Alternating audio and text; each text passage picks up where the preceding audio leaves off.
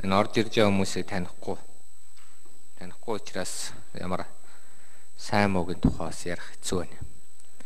Бодвол танаа нам гайгүй хүн гэж бодвол намын бодлого бүлгэрээ дамжуулаад оруулж ирсэн байх. Тэгээ төрийн ажлыг нэр төртөө хийгэрэй гэж хэлмээр байна. А харин би хэд хэдэн зүйл захиж хэлэх гэсэн. Нэгдүгürt нь одоо энэ манад чинь 3% хүүтэй гой зээл байсан. Гişүүд маань авчихсан. Жидүү гэдэг. Өцөгдөр бид нар бас нэг гişүнээ их хурлаасаа явуулчлаа. Тэг хувийн хүүтэй тэди зээл гээд тэди гэдэг чинь маавга биш юм байна шүү дээ. Би сая л ойлголоо. Тэгээ тэр нь болохоор ямар үг гэж бай. Хөдөлмөр эрхлэлтийн сан ч гэнэ тэрний зээл 5 сая хүртэл байдаг. Бас тэрийн бас нэг 6 7 гишүүн авцсан юм шиг байна. Одоо тэгэхээр би одоо санхүүгийн зохицуулах оронд юу гэсэд байгааг энэ өдрийн зээл гэдэг юм болиулж өгмөр байна. Тэрүүгээр ямар нэгэн шийдвэр гаргамаар байна. Энэ одоо өдрийн зээл гэдэг нэрээс болоод нөгөө нэг өдөр өдрөөрөө 40% өдөрт 40% 50% хүүтэй аваад өөрсдөө татвар төлдөг. Тэгсээр нэ огт татвар төлөхгүй мөртлөө хүнээс болохоор хүү аваад идэг. Тэгээ нөгөөдүүл нь өнөөдөр захмах дээр одоо юу гэдэг 500 мянган төгрөг зээлчихэд 500 мянган төгрөг зээлчихэд 5 сая сүүлдээ 10 сая болонгууд нь нөгөөдүүл нь энэ төрийн албан хаагчид тэр дундаа дундаж давхаргынхан мөнгө өгөж угаадаг юм шиг ба. Нөгөө ядарсан нэг хүмүүстэй. Тэгээ ямар сонирн байдал үүсдэг вэ гэхээр хуу цагдаа хуулийнхантайгаа нийлээд заллингийн эргээ тавьчихдаг. Тэгээ 10 жил мөлийн ял авчихна.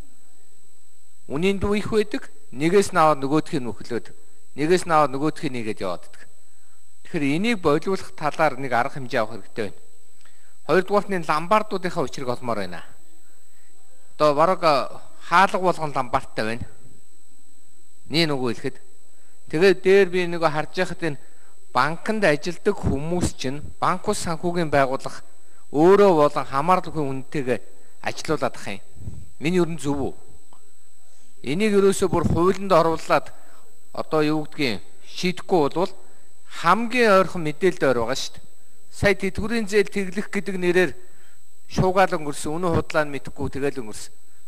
100 тэрбум төгрөг авчлаа гэл. Бараг ард түмэл бухимдсан нөгөө 20 дугаар тогтоол шиг. Тийм учраас өнөөдөр ямар ер нь энэ мөнгө хүүлнэ гэдэг чинь бас нэг тийм нэг зөв юм биш дээ. Үндэ бол мөнгө хүүлдэг.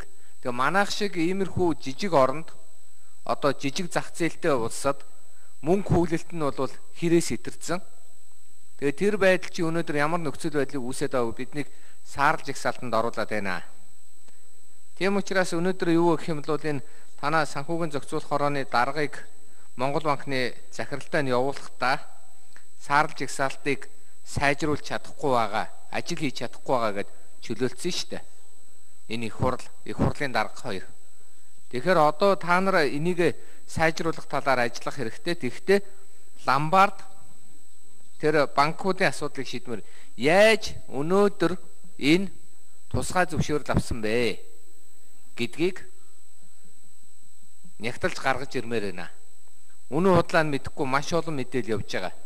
Тийм учраас энэний зорилго чиглэл энийг шийдмээр байна. За бас өгш үг хэллээ. За Батмөр гүшөө.